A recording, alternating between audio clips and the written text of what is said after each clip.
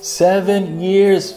I haven't seen my kids in seven years while mom plays the leftist narrative of the kids' feelings. They don't feel like seeing dad. Well, there's no reason for that at all. I have no record. I owe no child support. Nothing. Mom overnight felt the need that she got a boyfriend.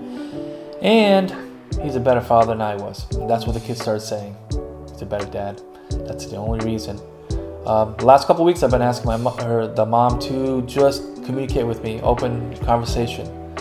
I don't know what's going on with the, you know, the children, but there's no reason for them not to. So I want everyone to know that the only thing I've been asking my ex recently was for her to communicate with me and about the kids, and the kids communicate with me. That's it. I'll help out in whatever way possible. Nothing